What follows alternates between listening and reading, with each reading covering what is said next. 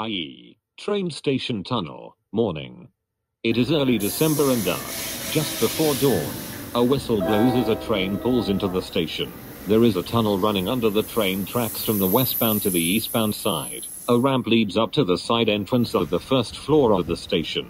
George, the coffee newsstand owner, is just outside of the door smoking a cigarette. He is dressed as Santa Claus. Three rowdy teenage girls, wearing matching denim jackets, are speaking loudly, practically screaming at one another as they make their way up the tunnel. They quiet down when they see George. The leader of the trio, Terry, is a pale faced teen with stringy black hair. She pulls out a pack of cigarettes, puts one between her lips, then reluctantly hands one to each of her freeloading friends. Patting herself down, Terry realizes she doesn't have a light.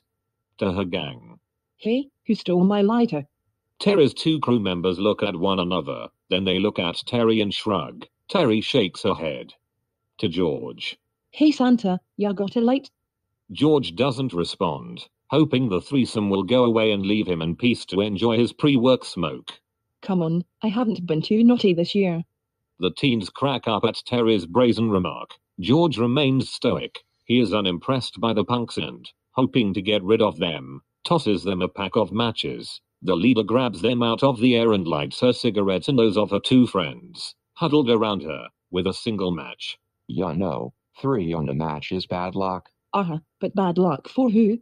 The teens all start laughing again and turn away from George. As they shuffle on chuckling, George gets a clear view of the large hand-painted emblems featuring winged monkeys on the teens' matching jackets.